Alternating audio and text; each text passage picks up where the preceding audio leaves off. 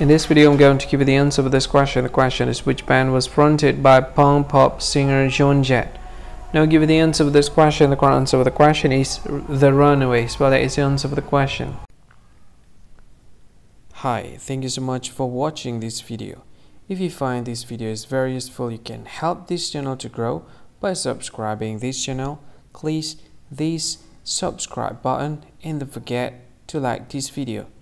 And if you find this video is not really good or you don't really like this video or you kind of feel that it's a little bit offensive or something like that, you can click this one, dislike button. You can do that anyway.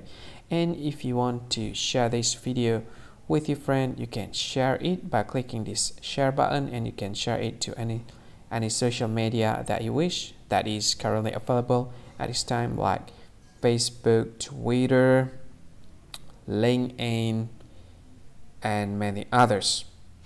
Right? And if you want to add this video to your playlist, you can click this one. You can watch this video later and you can find more options by clicking these three dots. And yeah, don't forget to subscribe. I think that's all of it. Thank you so much for watching this video and see you again in another video. Bye bye. See you again.